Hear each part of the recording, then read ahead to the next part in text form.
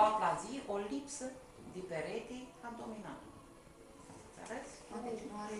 Da. Deci- Care realizează deci o hernie umbilicală, prin care, deci o hernie mare umbilicală, prin care s- intră și intestin și absolut tot. Deci se reface peretele, s- o mulțime de proceduri chirurgicale care constau în refacerea peretelui și să mențină conținutul abdominal acolo unde este o Deci, practic, intestinele erau în interiorul cutiei Deci o lipsă abdominale. de perete ventral, o lipsă de perete abdominal.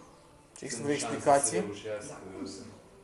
Deci este o malformație congenitală, probabil că în perioada de embriogeneză, gravida a suferit o viroză, ceva.